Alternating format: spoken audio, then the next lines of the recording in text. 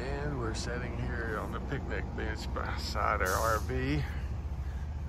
And uh, tell us what we're seeing over there. Well, we have some elk that are just right here uh, in the little bit of a wooded area behind our RV, and uh, it's quite amazing.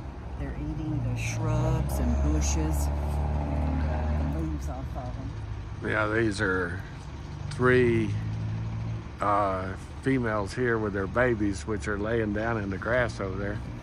And then we have one uh, buck Yeah. right here. Oh, wow.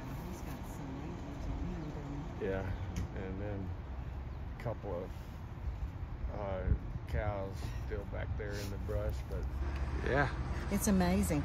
We went to Rocky Mountain National Park today looking for wildlife, and we did find a beautiful herd of elk that are were on one of the hillsides, but they were not real close.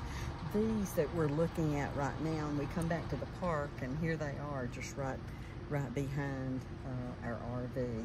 They're just absolutely beautiful animals. They're, they're really big. Uh, I was surprised at how big up close they are but they're enjoying their they're having a feast out there I think they're enjoying being photographed too, because uh,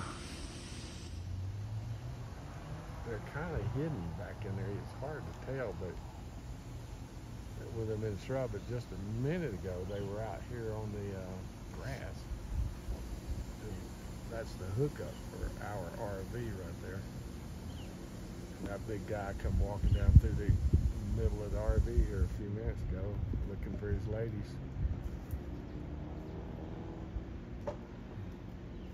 All right, happy trails.